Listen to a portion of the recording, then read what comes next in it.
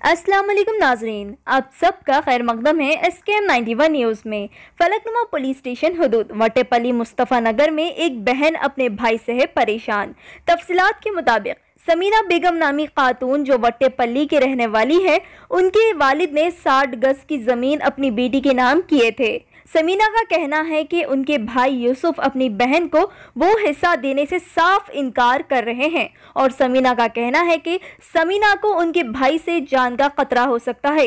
इसी वजह से समीना ने फलकनुमा पुलिस स्टेशन हदूद में कंप्लेन दर्ज की है। आगे तफसलात सुने समीना की जुबानी। हमारे नुमाइंदी रिपोर्टर सैयद आमिर की यह खास रिपोर्ट पेश है। मैं Hanan Fatima, bureau report S K M ninety one news मैं मदद की गुजारिश कर रही हूँ। अगर मेरे को कुछ भी हो गया और ये मैं हमारे क्या है, ये पुलिस वाले, फलकनुमा पुलिस वाले जो हमारा एरिया लगता एसीपी डीसीपी कमिश्नर साहब उनसे सबसे मैं बहुत गुजारिश कर रही हूँ, मदद की गुजारिश कर रही हूँ साहब। मेरी मदद कर दो अगर मेरे को कुछ भी हो गया तो मेरे बच्चे फिर से यतीम हो जाते। मेरे को भी शोहर छोड़ के दो साल हो गया। मैं मैं बहुत गरीब हूँ, मैं बहुत परेशान हूँ, फिर भी मेरे को वकील रखना पड़ा इतनी परेशानी में भी। आप ना सब जने मेरा साथ दियो। मैं बहुत छोटे छोटे बच्चों की माँ हूँ, मैं अकेली हूँ, मैं इसलिए मैं अकेली हूँ, बल्कि मेरे को इतना जुल्म कर, आप ला मेरा साथ दो। तेलंगाना हुकूमत से मैं बहुत गुजारिश कर रही मैं मेरी मदद करिए आप लोग सब जने मैं समीना बेगम हूँ और मेरे एरिया वटापल्ली, मुस्तफ़ा नगर लगता मेरे को। मैं वहाँ से बोल रही हूँ कि भाई मेरा हिस्सा ये आ रहा तो हमारे भाया टॉर्चर करके अर्जेंटली घर खाली करो, ये घर उनकी आप देख लो कंडीशन सही नहीं है, ये मेरे बच्चे हैं और एक बेटी, छोटी बेटी है, मेरे को तीन बच्चे हैं और मैं सिंगल मदर हूँ कि मेरे को ऐसे ऐसे टॉर्चर ना कर रहे हमारे वक्त, थोड़ा तो भी मेरे को टाइम दे दो। दे दो, मैं चले जाती हूँ यहाँ से, बोले तो भी ज़ोर ज़बरदस्ती कर रहे हैं, रोज का एक टॉर्चर देते बहुत परेशान कर दिए। आप, अपना मैं न्यूज़ के ज़रिए मेरी बात रख रही हूँ, आप मेरी मदद करें। मेरे मासूम मासूम बच्चे हैं, मैं बेसहारा हूँ, मेरा शोहर भी नहीं है। हाँ? ये ये घर है किसका अम्मा ये घर मेरा है सर। अब हमारे डैडी मेरे को गिफ्ट करे मेरी मेरी बड़ी बहन और मेरा बड़ा भाई भी मेरे को हिस्सा दे दिए कई बोलते मैं बेसहारा हूँ मेरे को सहारा नहीं है बोल के दे दिए सर। टोटल कितने गज है ये? ये साठ गज है सर मेरा। साठ गज है। तो आपके भाई क्या बोल रहे? सर हट जाओ बोल रहे यहाँ नीचे आके रह जाओ बोल रहे मेरे को। जाओ कहीं भी जाने तो ये कमरे में नहीं तो घर खाली कर दो ऐसा बोल के बोल रहे अब मैं बहुत परेशान हूँ सर। मैं क्या करूँ बोलो? मैं छोटे छोटे बच्चे में मैं रोज़गार भी नहीं मैं बेरोजगार हूँ। मेरी खुद भी कमाई वमाई भी नहीं है।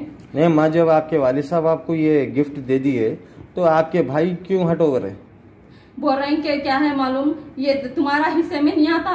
हिस्सा। वो हिस्सा मेरा है तुम जो रह रहे वो हिस्सा मेरा है। मैं बोली हाँ आपका ही हिस्सा है। दे डालती आपको मगर वक्त दियो मेरे को।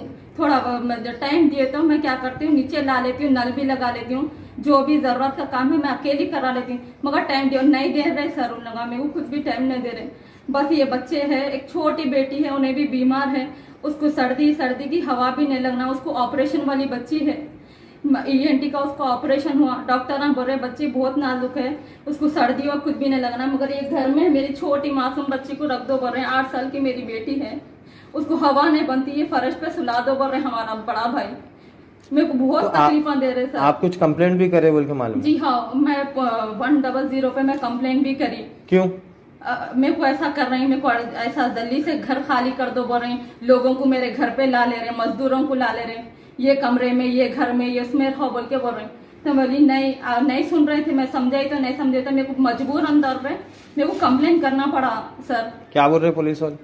पुलिस वाले बोल रही कि हमारा ये सिविल मैटर है अम्मा तुम वकील को मैं वकील को भी रख ली सर मैं। मगर फिर भी वकील साहब बोल रहे आपके बड़े भाई और एक बार आप समझाओ। अगर नहीं समझेंगे तो मेरी जान का भी धोखा है उनसे। आप कौन से पीएस में कम्प्लेन करें? ये फलक नुमा पीएस में कम्प्लेन करी सर मैं। जी।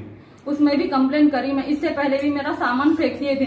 अब मेरे को मेरी जान का धोखा है। अगर मैं मेरे को कुछ भी हो गया या घर के आते तो मेरे मासूम बच्चे बेसहारा हो जाते साहब। किससे जान का धोखा है? हमारे दो बड़े भाइयों से मेरे को जान का धोखा है। नाम? उनका नाम मोहम्मद यूसुफ और हबीबुल्ला मोहसिन है। एक भाई का नाम। तो आप चाह रहे क्या अभी? मेरे को इंसाफ होना सर। मेरे को इंसाफ होना।